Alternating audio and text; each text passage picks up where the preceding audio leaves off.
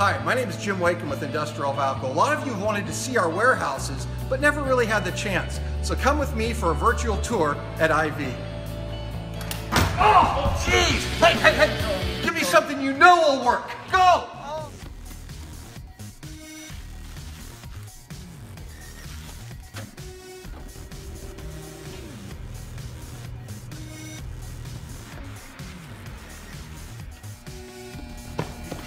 What is this? A Beric Forged Steel 2 inch valve? Yes. Gate? Yes. This is exactly what I need. You dirty dog! Oh, that's the stuff.